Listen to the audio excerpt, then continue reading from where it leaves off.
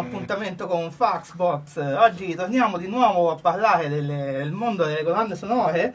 L'abbiamo già fatto in precedenza una puntata dedicata alle colonne sonore ai film western, ma oggi ci dedichiamo soprattutto all'opera di un singolo autore che è uno dei più prolifici, che fa parte di quella scuola di eh, autori di colonne sonore eh, italiane che ha fatto veramente appunto scuola eh, un po' in tutto il mondo. E parliamo infatti di Piero Umiliani, un uomo che ha inciso non so quanti, ma veramente non so quanti dischi nastri di colonne sonore, di sonorizzazioni, nonché di dischi jazz veri e propri. Allora, il nostro carissimo Piero Umiliani inizia la carriera appunto suonando jazz, e pubblicando anche i primi dischi eh, jazz in Italia tra i più rinomati dell'epoca, fino a che eh, uno di questi dischi non finisce nelle mani di Mario Monicelli, che lo mette subito al lavoro a fare la colonna de- sonora del famosissimi film con Gasman eh, e Totò, I soliti ignoti, e l'audace colpo dei soliti ignoti, siamo alla fine degli anni, eh, siamo nei primi anni 60, eh, a cavallo tra gli anni 50 e gli anni 60. E diciamo che le sue colonne sonore jazz furono un po' una novità, almeno in Italia, scusate, ma con la mascherina faccio un po' fatica a respirare. Furono un po' una novità in Italia, detto proprio quel, quell'incedere brillante a, diciamo, quell'atmosfera che troviamo nei film del dopoguerra e dell'inizio del boom economico in Italia. E parleremo più approfonditamente nell'ambito di questa puntata di Piero Migliani, ma cominciamo subito ad ascoltare qualcosa. È tratta dal film Smog del 1962.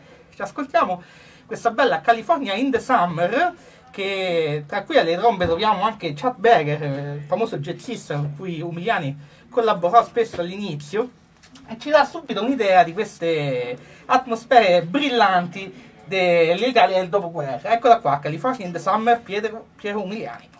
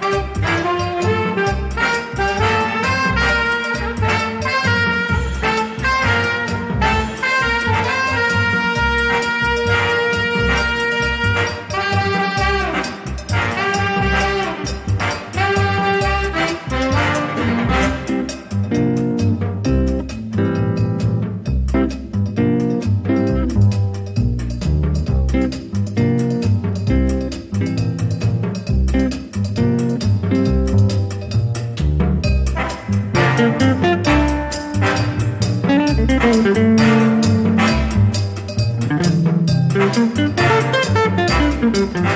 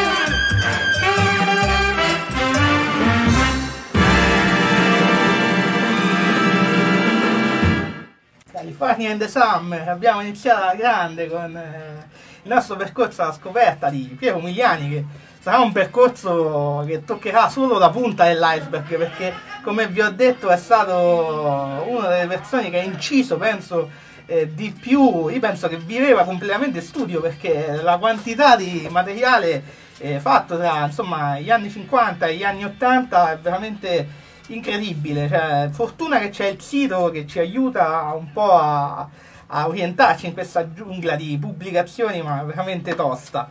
Comunque nel 63 diciamo, un suo tema diventa famoso perché diventerà la colonna sonora della domenica sportiva e quindi per tutti gli anni 60 la Rai la utilizzerà per, eh, come colonna sonora. La conoscono un po' tutti ma sicuramente la riconoscerete, questa è Dribbling. Non era questa ma è questa.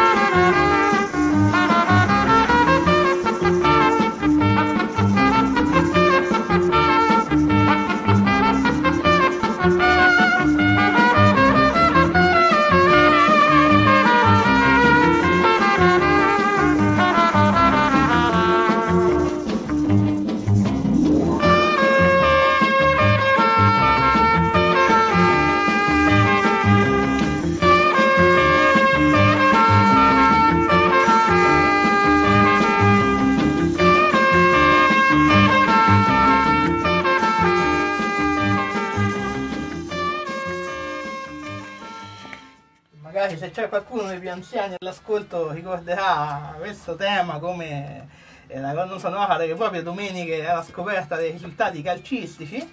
E, che sta su... Ah, mi era partito come al solito il cellulare con la mia stessa diretta. E comunque eh, il nostro Miliani si dà da fare non solo con le, con le colonne sonore dei film veri e propri, ma anche di molti documentari oppure finti documentari come andavano all'epoca allora. Infatti e negli anni 60 si comincia a fermare il famoso genere dei mondo movies, ovvero dei documentari eh, più finti che veri, o, ispirati forse da fatti veri, ma eh, sicuramente esagerati per scioccare un po' l'ascoltatore, eh, anzi il telespettatore in questo caso, su magari eh, posti esodici, molti sono ambientati in Africa, molti in Asia, sulle sul, usanze diciamo un po' estreme dei popoli che abitavano queste zone. E il più famoso è Mondo Cane, ma ce ne furono tanti di questi appunto che presero il nome da il Mondo Movies.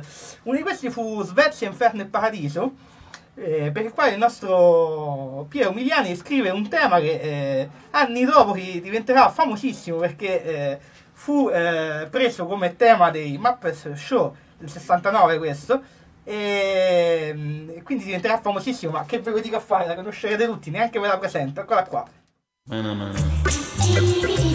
Mana mana. Mana mana.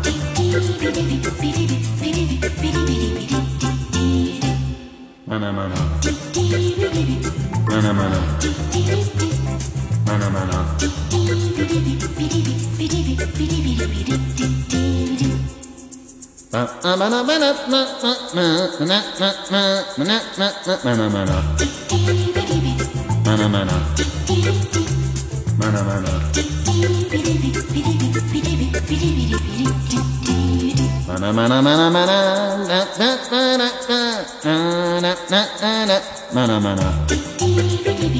mana mana mana mana na na na na na na na na na na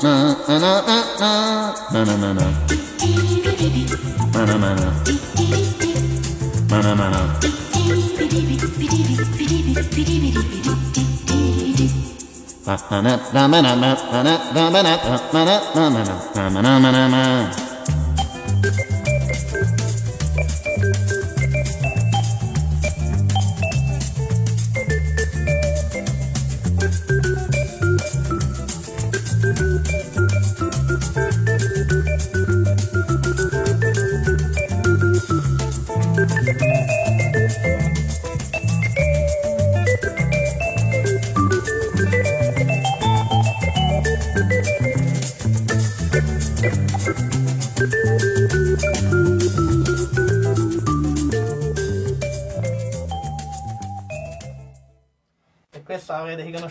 è la famosa Manà Manà, che insomma ha avuto un successo incredibile, un motivetto, insomma questa è una colonna sonora che ha fatto abbastanza strada. Comunque, sempre dalla colonna sonora di Svezia, Inferno e Paradiso, troviamo un altro tema molto interessante che comincia a farci vedere quello che sarà un po' il suo marchio di fabbrica, questo lounge che viene dal jazz, però viene molto modernizzato e adattato ai tempi. Insomma, è un, un tipo di suono tipicamente che nasce in Italia ed è dovuto soprattutto appunto a Umiliani e anche a Ortolani, Bagalov e gli altri compositori suoi contemporanei. Sentiamoci questa Topless Party, eccola qua.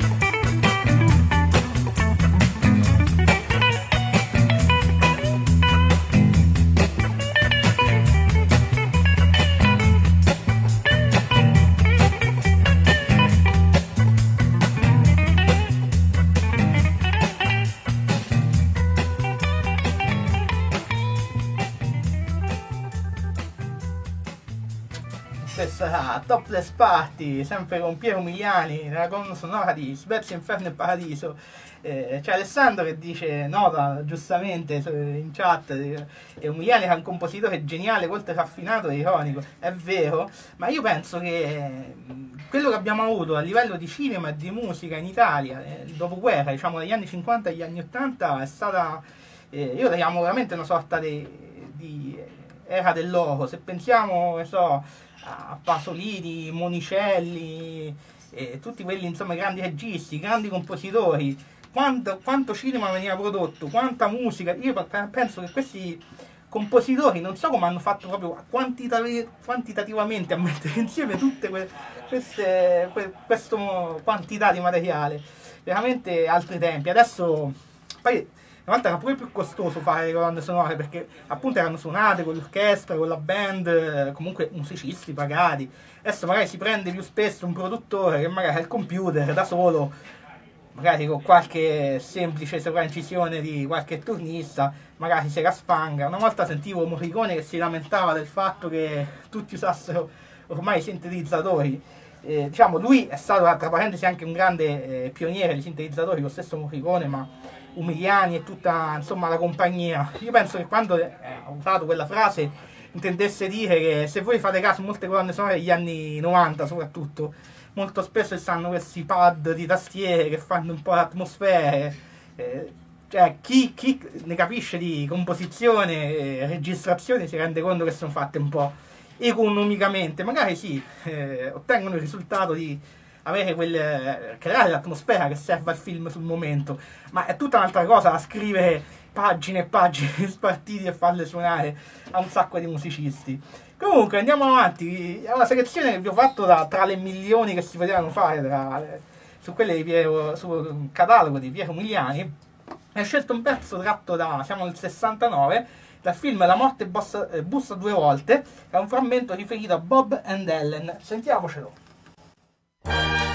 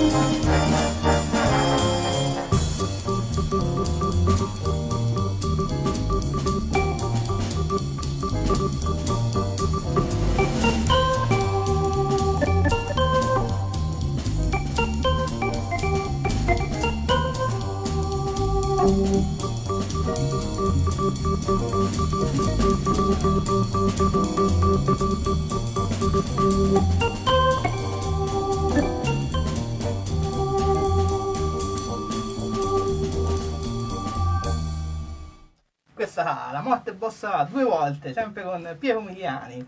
E andando avanti nella nostra scaletta, sono incappato in una sonora molto interessante di un, sempre un altro finto documentario che si intitola Angeli Bianchi e Angeli Neri. Dovrebbe essere un documentario sul mondo della stregoneria, delle streghe, delle confraternite di streghe, cose di questo tipo. E quindi c'è questa um, colonna sonora che eh, rispetto a altre eh, ha molti pezzi cantati, tra parentesi, anche se quasi in tutte queste colonne sonore c'è almeno il tema principale cantato da qualche cantante, poi il resto sono strumentali. Questa ce n'ha parecchie e mm, ve ne ho scelta una, si chiama Magic Children, che è una sorta di valzer un po', come si dice, un po' macabro, diciamo, sempre per questa atmosfera, diciamo, un po' da stregoneria, ma è molto interessante quello che combina il nostro Piero. Magic Children.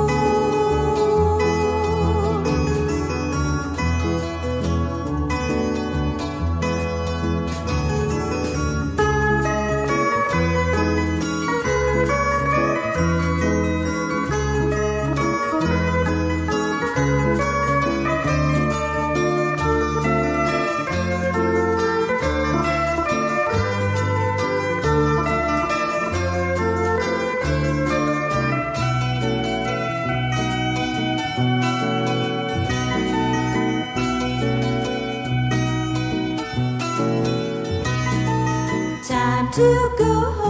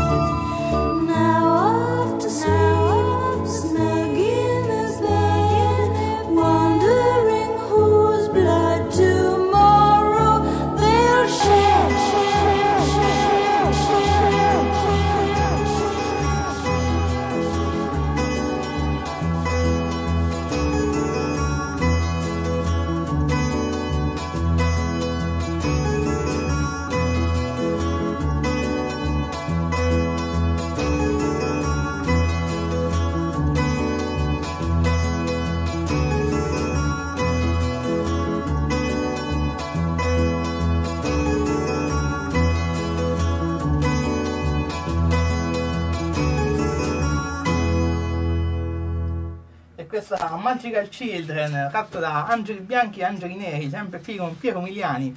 E ve ne ho scelta pure un'altra tratta dalla stessa colonna sonora perché è veramente una figata. Si intitola Toccata e Samba e altro non è che una rilettura in chiave appunto samba, incredibile, della famosa Toccata e Fuga di Bach, eh, famosa per insomma il suo tema d'organo conosciutissimo. Quando parte in versione samba è qualcosa di incredibile sempre a dimostrarci la versatilità di questi grandi compositori. Sentiamocela, toccata e samba.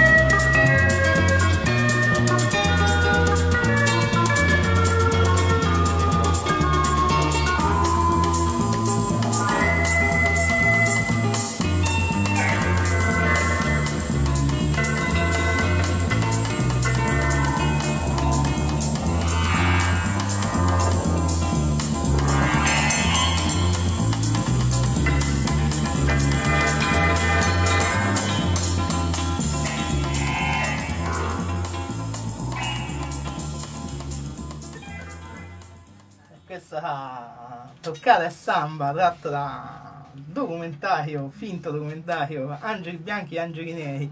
E ce n'è un altro di finto documentario, sempre questi mondo movies assurdi, eh, che contiene bellissime musiche, ma sono quintali. Io, quelli in, in, cui sono incappato che in qualche modo mi hanno, mi hanno colpito qua e là, eh, perché veramente eh, non saprei si può prend- pescare a occhi chiusi veramente in questo repertorio infinito. Comunque, quest'altro produzione di cui parlo è Questo sporco mondo meraviglioso, siamo nel 1971 e da questo vi ho, vi ho, scelto questa Dove va il mondo che ha veramente un bel groove. Tra parentesi, molti brani di umiliani sono stati campionati per ricavarci dei beat perché comunque sia si prestano, chi, chi fa rap, chi fa anche produzioni campionando a destra e manca va a caccia dei vinili di Piero Miliani. Comunque sentiamocela, dove va il mondo?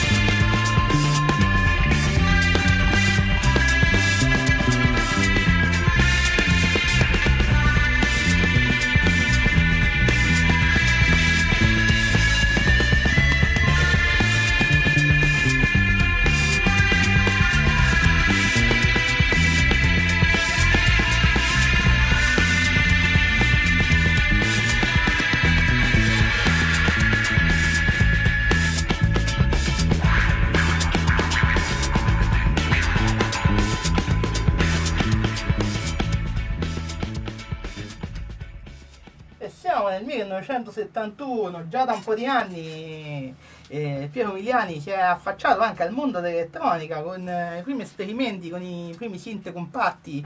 Lui fu uno dei primi possessori di un Synthi HPS, fu un famoso sintetizzatore che usavano i Pink Floyd, Franco Battiato e altri e cominciò a sperimentare con quello e poi col Moog per fare eh, cose molto interessanti. Eh, per sentire uno dei suoi esperimenti più pazzi, sono andato a pescare eh, una colonna sonora fatta, assurdo pensare eh, l'accostamento, per un documentario sui, si chiama Il mondo dei romani, sull'antica Roma eh, il quale lui ha prodotto una colonna sonora totalmente elettronica, totalmente astratta, eh, veramente assurda. E ci andiamo a sentire, siamo nel 1972, questa Delenda Cartago. Preparatevi perché è veramente strana. Eccola qua.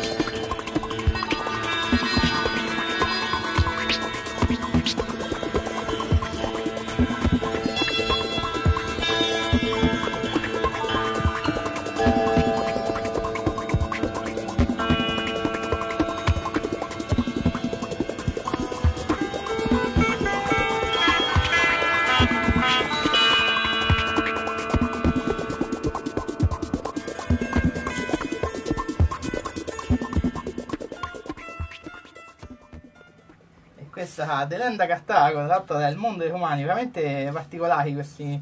Ci sono sia dei dischi come colonne sonore, sia altri come puri mh, dischi di librerie, perché dovete sapere molti di questi eh, autori facevano, eh, pubblicavano anche, eh, Umiliani aveva delle etichette apposite per pubblicare questo materiale, eh, delle musiche eh, per eh, diciamo, fare delle colonne sonore ma a, a, uso futuro, nel senso facevano so, un disco in cui mettevano temi thriller, un altro temi fantascienza, un altro temi di eh, non so, cose così, ah, in modo che chi volesse, pagando gli autori, i diritti ovviamente all'autore, poteva già utilizzare le musiche già pronte e non fatte ad hoc, insomma, per regista, eccetera. Quindi esiste tutto questo sottobosco della cosiddetta library music che veramente fa dannare i collezionisti perché molta di questa roba non è stata ristampata, anzi fortunatamente qualcosa eh, dal 2000 in poi si è mosso, ci sono le etichette che cominciano a ristampare eh, parecchia di questa roba, rimasterizzando eccetera, ma c'è sta roba che proprio non è mai stata ristampata, anzi sono persi i nastri eccetera eccetera, quindi gente che vedete su Discogs eh, vendere vinili di questa roba a 600-700 euro, cosa incredibile. Comunque, torniamo a un'altra colonna sonora più, diciamo, canonica, che è quella di un, una sorta di thriller, eh, così chiamiamolo erotico, eh, sempre si chiama Il Corpo, che è del 1973, mi pare, 72-73, e ci ascoltiamo questo tema molto incalzante che si chiama Hard Times.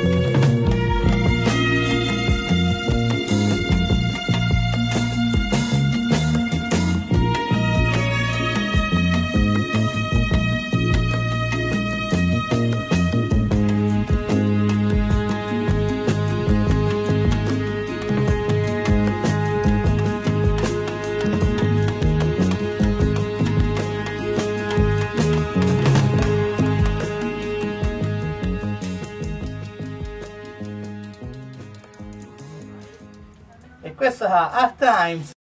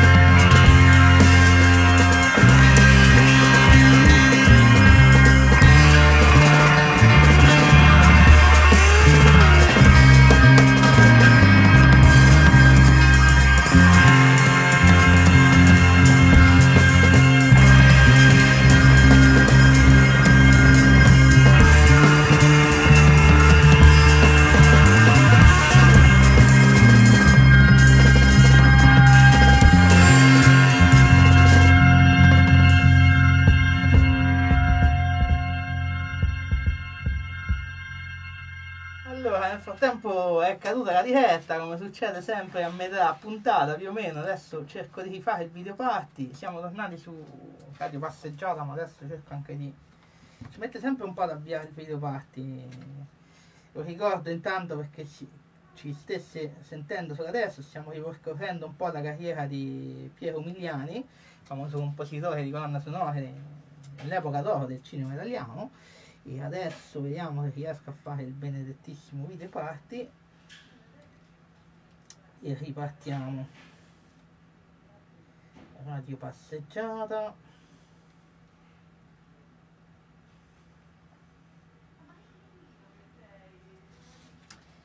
Eh, ci mette sempre un po' a vederlo lo vede dopo un po' comunque ehm, allora continuiamo ehm, il prossimo brano che andiamo a sentire è sempre tratto dalla stessa, dallo stesso film, che è La ragazza fuori strada, del 1973.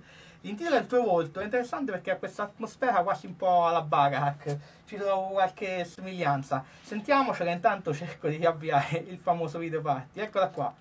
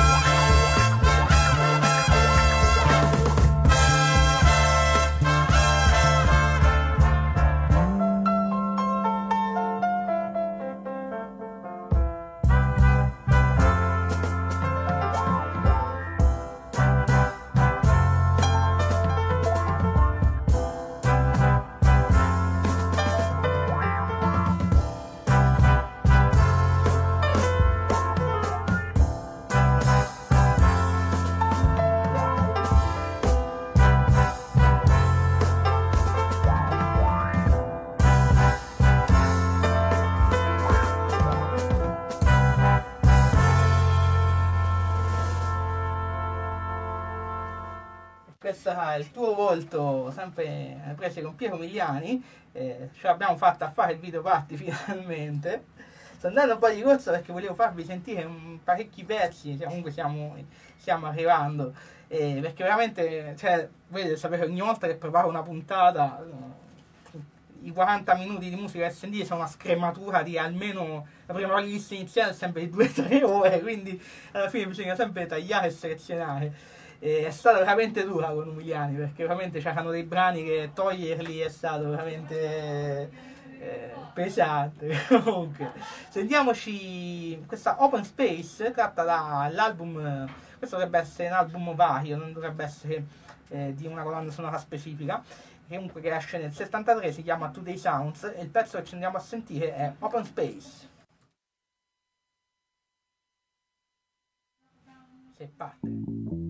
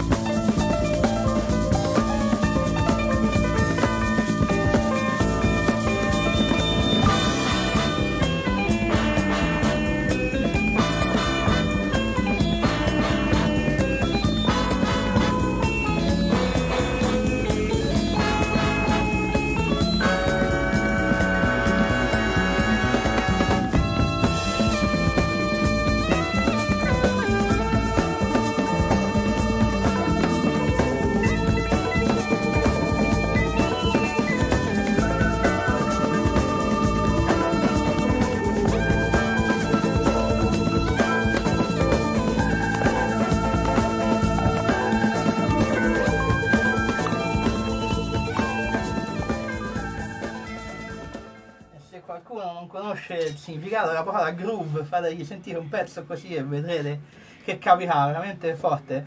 E, sempre parlando di Piero Miliani, eh, nella sua carriera ha musicato anche molti western, ma ha un po' sorvolato anche volutamente, forse ne ha fatti un po' meno di altri suoi contemporanei, però ne ha fatti comunque. E un po' sorvolato anche perché abbiamo dedicato una puntata appositamente per il genere western. Eh, però una ve l'ho inserita perché questo brano mi piace veramente un sacco come monta diciamo, un po' l'emozione del, del brano appunto.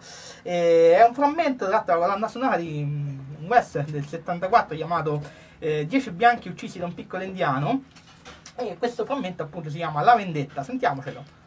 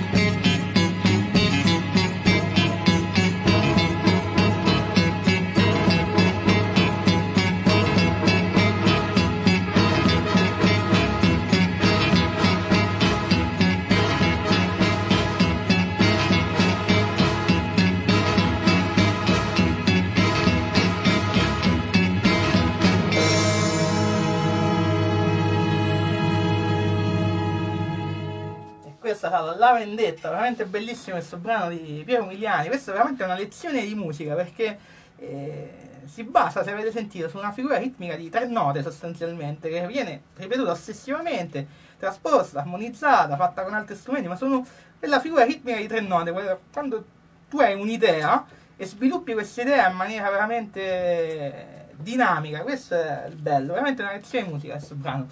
Comunque andiamo avanti, siamo per finire il tempo, ma siamo verso la scadenza. C'è un altro brano fantastico è tratto dal film Il fidanzamento con Leo Buzzanca del 1975 e c'è il tema principale che è fatto eh, col, col Moog, è un brano molto lange appunto. Band come Air sicuramente hanno sentito questa roba, se la sono mangiata a pranzo e a cena veramente perché si sente un po' nei loro dischi parlo del duo francese che fa elettronica riprende molto delle atmosfere lounge del cinema italiano. Eh, sentiamo ora perché è veramente carina il fidanzamento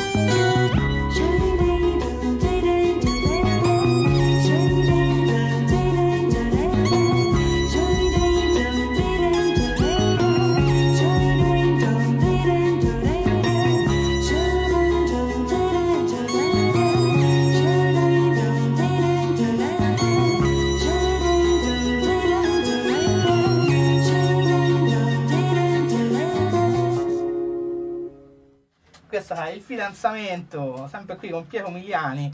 Tra parentesi vi ricordo che per tutte le informazioni, veramente ce ne sono tante, fatte, organizzate bene, c'è il sito www.umiliani.com, non vi sbagliate, è un sito dalla grafica molto, molto old school, però in realtà è pieno di... trovate veramente tutto su di lui, sia a livello biografico, discografico, c'è anche la pagina ufficiale su Facebook che dovrebbe essere un po' più ufficiale, seguita insomma penso dalla famiglia o comunque da chi detiene l'eredità insomma eh, artistica di Pietro Miliani che è morto di, cioè, nei primi, nel 2002 mi pare, nei primi anni 2000.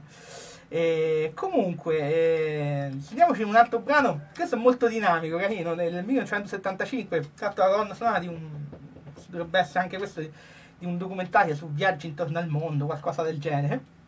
E si intitola Bon Voyage, questo documentario. E il, il brano si intitola Business is Business, è carino perché ha questi fiati, insomma, che veramente fanno cose interessanti. Business is Business.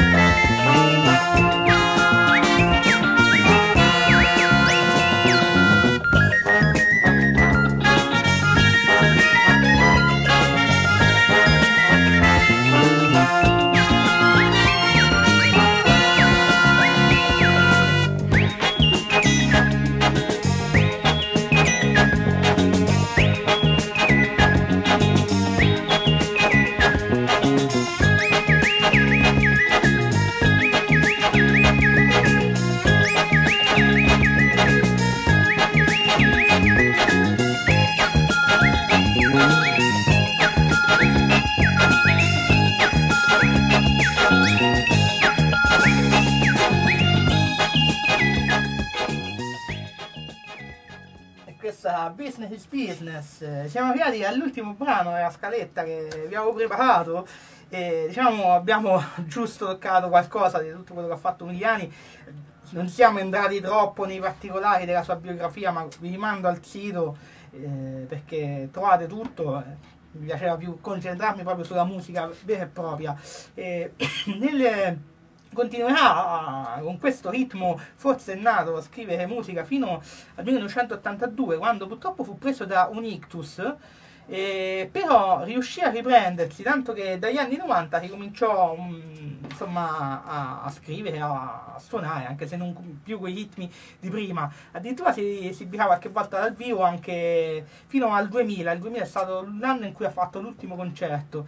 E nel, vi ho detto prima è morto nel 2002 mi sono sbagliato mi correggo è nel 2001 eh, controllato a Wikipedia. E comunque ci ha lasciato in eredità veramente un mondo di musica che vi consiglio di andare a scoprire. Diciamo, lo spirito di Faxbox è sempre questo: mettere la pulce nell'orecchio, veramente.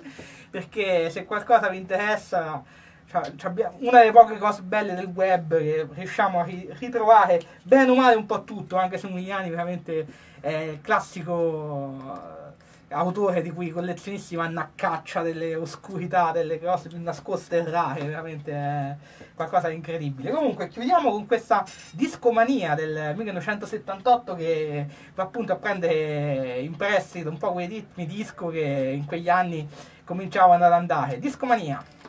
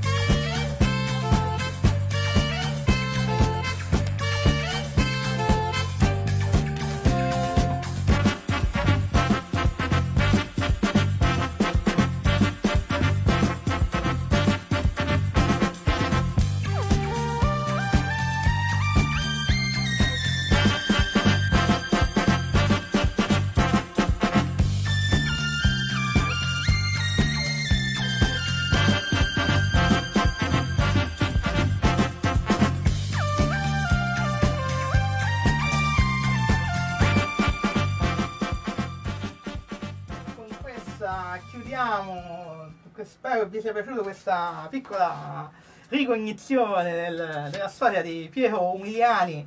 Eh, abbiamo veramente grosse eccellenze a livello di compositori in Italia e forse gli va dedicato molto più spazio eh, proprio nel dibattito, eh, diciamo, nel ricordo del bellissimo materiale che questa gente ha fatto. Noi ci vediamo giovedì prossimo, ciao!